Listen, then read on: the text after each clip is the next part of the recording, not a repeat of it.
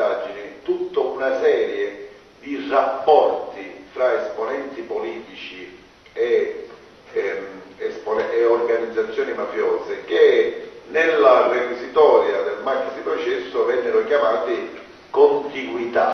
Poi vedo anche che cosa è l'attività di questi giudici. Da cittadino mi domando ma quanti soldi pubblici stanno sprecando in processi come quello di Andreotti, in processi come quello per Dell'Utri e come si possa continuare in uno Stato di diritto a portare innanzi ancora la figura del concorso esterno in associazione mafiosa, un reato che non trova sede nei nostri codici.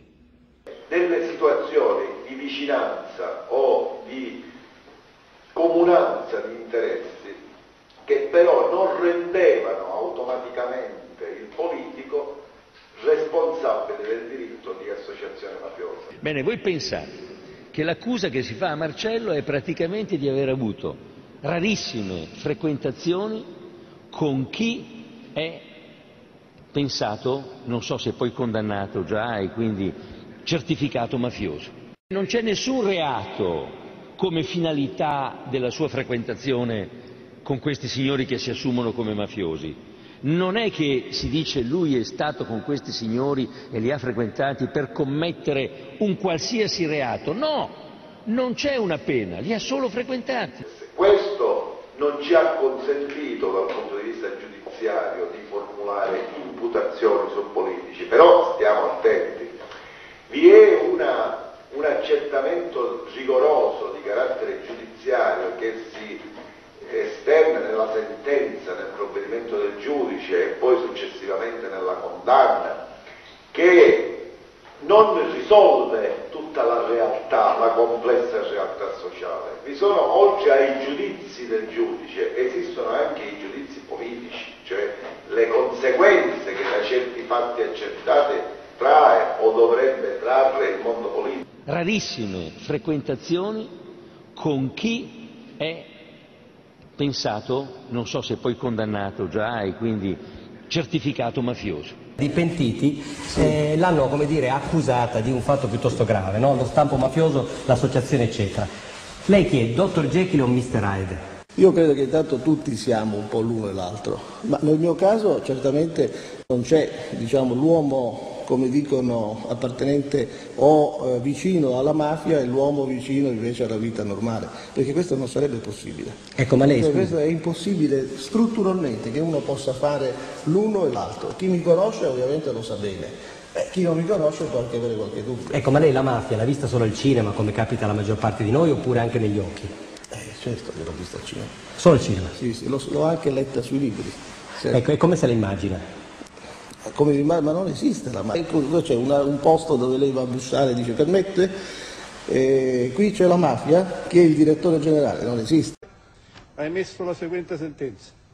Visto l'articolo 530, comma secondo, codice di procedura penale, assolve Andreotti Giulio dalle imputazioni ascrittegli perché il fatto non sussiste. Vai, così è stupendo.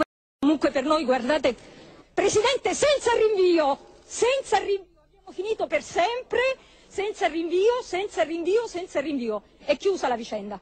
Però attenzione, perché le cose non sono così semplici. Nella sentenza ci sono alcune importanti precisazioni. Fino alla primavera del 1980 alcune di quelle cose Giulio Andreotti le ha commesse, solo che sono cadute in prescrizione.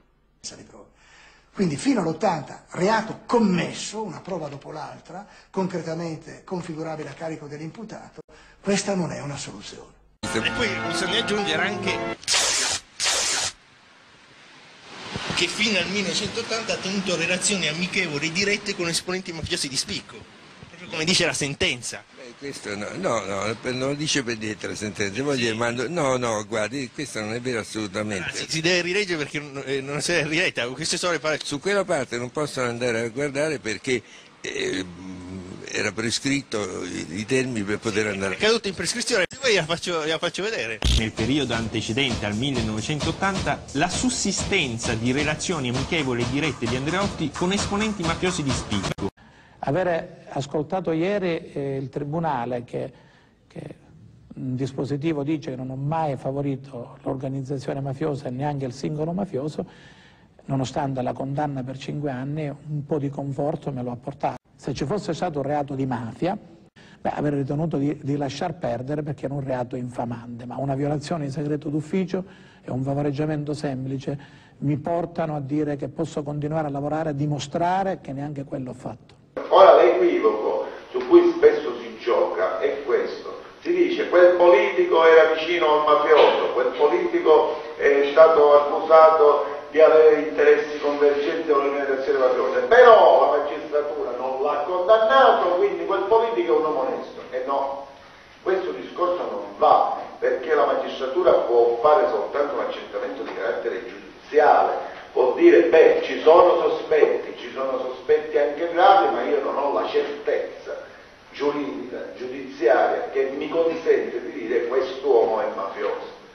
Però, siccome dalle indagini sono emersi tanti fatti del genere, altri organi, altri poteri, cioè i politici, cioè le organizzazioni eh, disciplinari delle varie amministrazioni, cioè i consigli comunali o quello che sia, dovevano già avere dovute conseguenze da certe vicinanze tra politici e mafiosi che non costituivano reato ma erano, rendevano comunque il politico inaffidabile nella gestione della cosa pubblica.